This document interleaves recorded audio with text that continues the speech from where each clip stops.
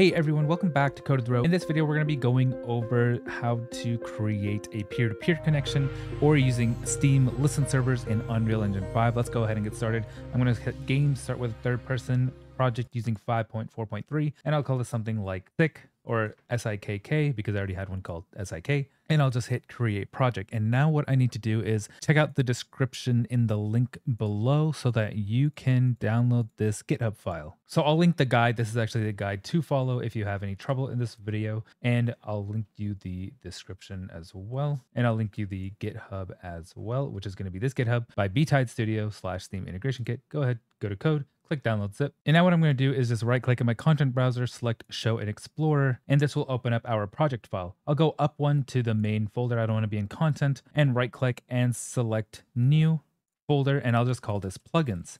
And then I'll go into the plugins and I'm going to paste the extracted version of the zip file that I downloaded from this GitHub here. So once you download this, extract it and then add that into your plugins folder like so.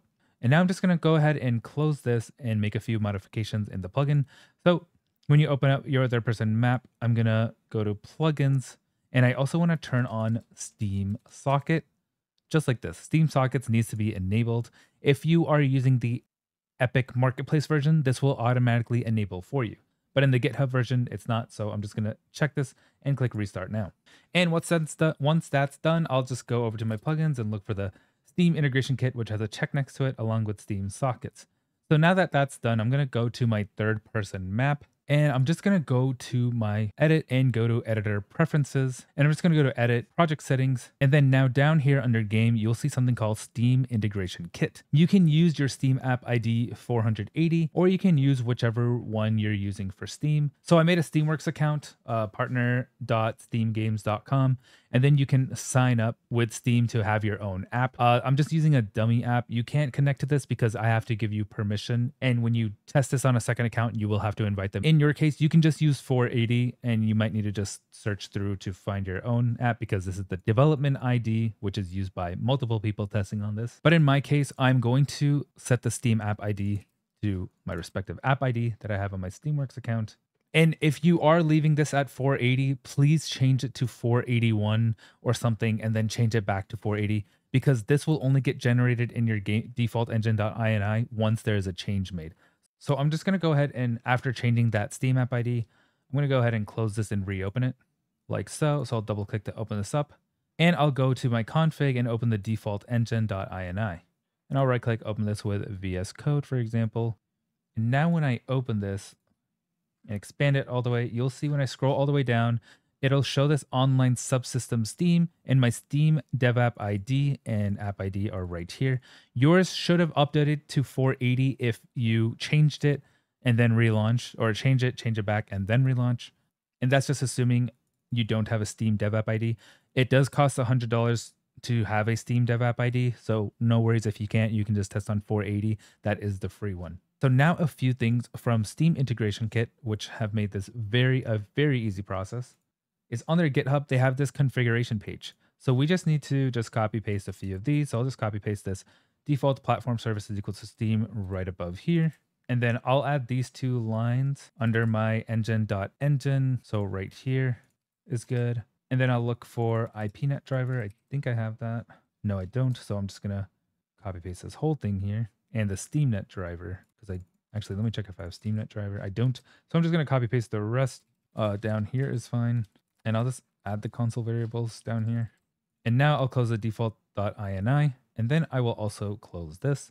So now what I'm going to do is head over to edit, editor preferences, and down here where it says play in your level editor, next to additional launch parameters, I'm just going to type, type dash log and hit X.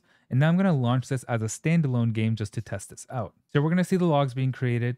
It's going to launch this project. And now you'll see on the bottom right, my Steam Access Steam community shows up. And when I hit Shift Tab, you'll see this Code with Ro Patreon is my Steam, my dummy Steam account, and it's playing this game called Code with Ro Testing, which is what I named it on Steamworks. So that's perfect. But I do want to add a couple things to this so that we can have other players connect, aka my one other testing account. So I'm going to go ahead and close this and close this as well. And now let's just right click, create a user interface widget, and a widget blueprint. And I'm just going to call this something like matchmaking underscore WBP. And I'm double click to open this up. And while this is open, I'm just going to add a canvas panel and a button and a text box or text block under the button like so. I'll click on my button and just hit size to content. And then for the text block, I'm going to change this text to something like um, start matchmaking. And then I'll hover, I'll click button again and anchor this to the bottom middle zero. Actually, you know what? I'll do a bottom middle or just directly in the middle right here. Alignment will be 0.5 by 0.5 and I'll hit compile and save. And now I actually want to go into this widget blueprint. So what I want to do is click button and then scroll all the way down and click this event call on pressed. But first we need to set up our event construct, ignore tick. And with event construct, I'm just going to set input mode UI only. And for the player controller, I'm going to drag this out and get player controller. And afterwards, I'm going to set show mouse cursor. And I made I need to uncheck this context sensitive to get that.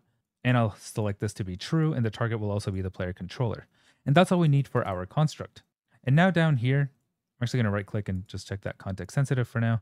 I'm going to drag this out and I'm going to find SIK or Steam Integration Kit sessions like so.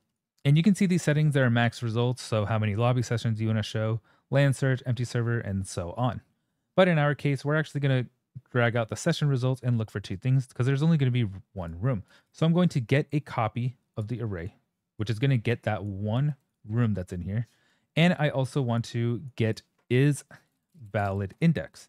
And this is going to be our branch to check our conditions. So I'm going to plug this into the success node here. And if this is true, so meaning if there already is a room set up, then we're just going to join that SIK session. And the session name we can leave as game session. But if it's false, we're going to create a listen server session. And this will make our own room. And I'll do number of public connections to five so that I can have five people playing at the same time.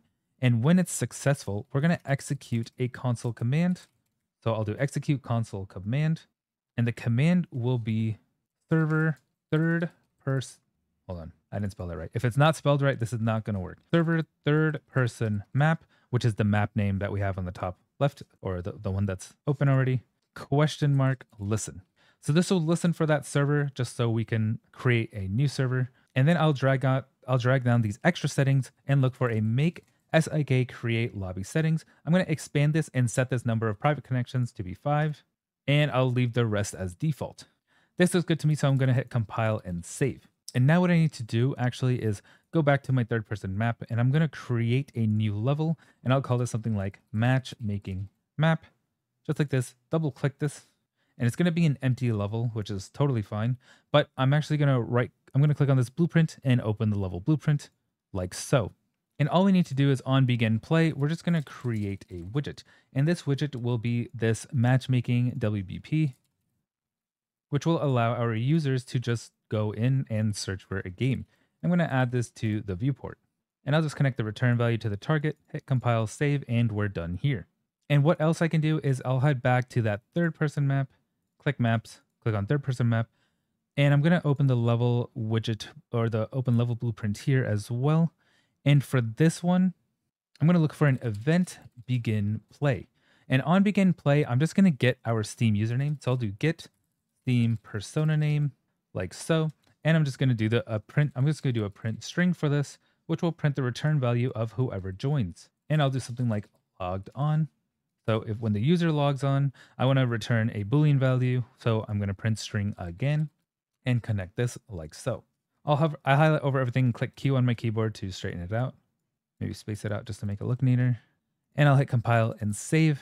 And I'll go back to my third person map. And the last thing I need to do actually is just go over to my characters or actually third person folder and then I'll go to blueprints and open up my BP third person character. Now on event begin play, I want to create a sequence and I'll uncheck this then zero and actually connect then one to cast to player controller. For then zero, I'm just going to set input mode game only and I'm going to show show mouse cursor, uncheck context sensitive and set show mouse cursor like so. And I'm to grab the player controller from here. So I'll just get player controller and I'll connect the return value to the set show mouse cursor. I'll set this to true. And this is all we need to do for now. So what I'm to do next is let's just try this out.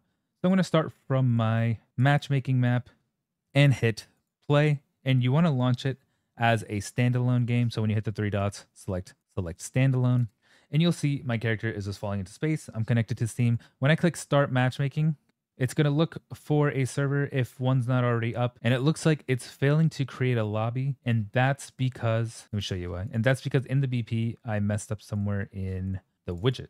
Okay, I see. So in my execute console command, it's not just server. It's actually supposed to be server travel. So it's telling our character that we're supposed to go here. Make sure there's a space between server travel and third person map, question mark, listen. And now when I hit play, it's going to launch our game and we're connected to Steam. And when I hit start matchmaking, we're going to be looking for a server and it'll log us in. It'll say true because that's our logged in print string. And then it would say coded row Patreon below, which is our persona, our Steam persona name. So that works. And now all we have to do, all you're supposed to do is go over to Steamworks if you're going to try this with another person. If you're using your own app ID, you can just invite your other account via email on Steamworks. And then you want to go to platform and you can package this up as a Windows. So I'll just use default. And if you package and your game is not launching, so what works for me is I actually just so this has happened. I don't know why this happens to me. Maybe it's a engine bug or something or 5.4 issue. But when I package my project, it doesn't launch. And the way I make it launch is I have to go to tools and just add a blank C++ class, create class, it's going to add code to your project, and that's totally fine, but this is what works for me. And it may not happen to you, but add C++ class, and then it will, and then you can package and stuff. You can recompile, rebuild, clean your project. And now it's going to say, please close the editor and build from your IDE. So I'll go ahead and do that now. And once this is open, you just right click on your project name, not UE5, just your project name. So mine's SIKK, Steam Integration Kit Kit, for example. Right click and you're going to do clean. And then we're going to do rebuild after this cleaning's done. And it should work flawlessly. There's not going to be any C++ issues, I hope, because we haven't done anything to the C++. And make sure you close your project. And then I'll right click and I'll rebuild. And now once it's done rebuilding, I can just close this. And then after rebuilding, I'm just going to click build. And now it'll start building the game again and compiling everything and it launches. I'll click on platform and I'm going to ship it on Windows. So I'm going to click Windows and package this project and I can just use use project setting. That's totally fine. And yeah, I guess development is better in case you do need to see logs and so on. And if you have any logs or any issues, Betide Studios is a very, very supportive company. They will help you every step of the way. They help me a lot. And yeah, I can't thank them enough for it.